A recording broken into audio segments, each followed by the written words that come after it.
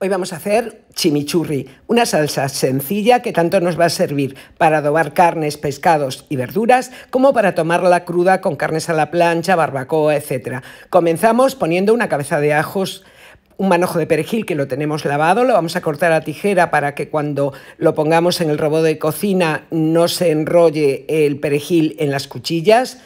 Vamos a ponerlo en la jarra de batidora o en una jarra eh, que tengáis de vuestro robot y vamos a añadir ahora a continuación guindilla. Yo pongo una guindilla entera porque me gusta que tenga un toque a picante. Eso lo tenéis que graduar según vuestros gustos. Ponemos cuatro cucharaditas de orégano.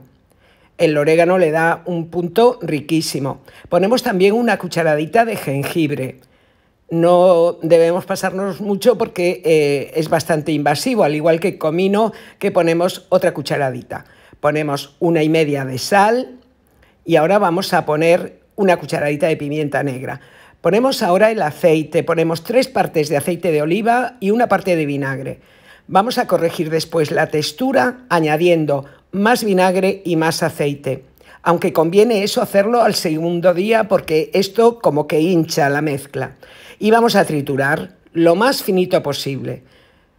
A mí me gusta que tenga una textura finita, que no se encuentren demasiados tropezones y una vez que la tenemos ya bien triturada, la vamos a pasar a un bote con tapa y la debemos dejar macerar un mínimo de 48 horas antes de usar para que el ajo pierda esa fuerza del ajo fresco.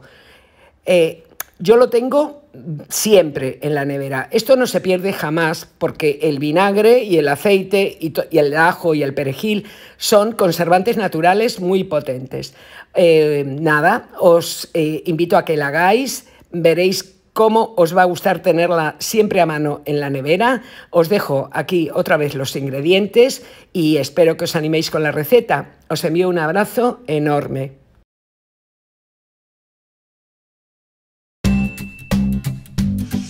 Música